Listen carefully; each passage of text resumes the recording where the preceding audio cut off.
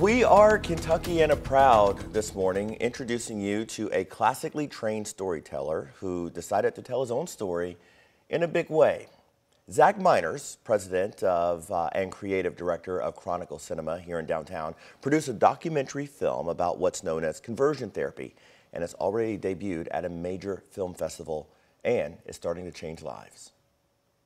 You'll never be successful. You'll never find love. You'll never find happiness. There's something special about watching a feature film with the film's director in the theater he owns. And they will take extraordinary measures. A sort of never ending industry. With the people who helped make it all happen. I'm really lucky because I've been able to kind of reclaim my story and reclaim my trauma in a way and work through it and a lot of people don't have that opportunity.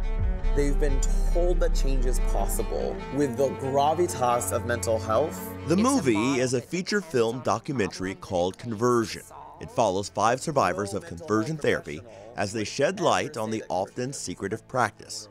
Zach Meiners isn't just the director. So I started conversion therapy when I was 14 years old here in Louisville. He is one of the five. What was the trauma?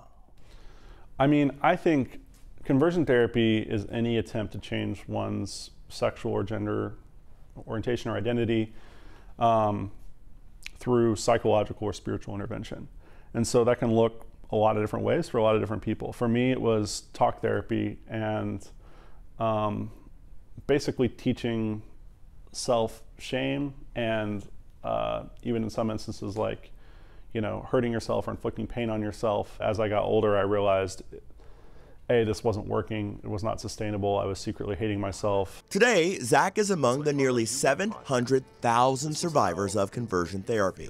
The film just debuted at the Portland Film Festival in Oregon and will soon be seen in other major film festivals across the country. And I think because it was a survivor led film, the conversations that we were having were deeper and were um, coming from a more sympathetic place because we were talking to each other you know, it wasn't like they were being interviewed by some outside producer who had no concept of what they had been through. It should be noted, according to the Williams Institute, more than 40% of survivors have attempted or seriously considered suicide in the past year.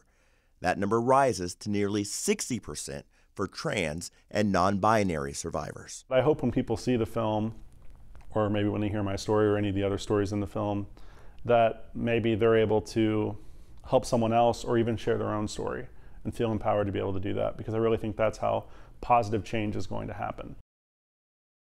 Zach's film premieres for an East Coast audience on November 17th in New York City. You can see all of our Kentuckiana Proud stories at WHAS11.com.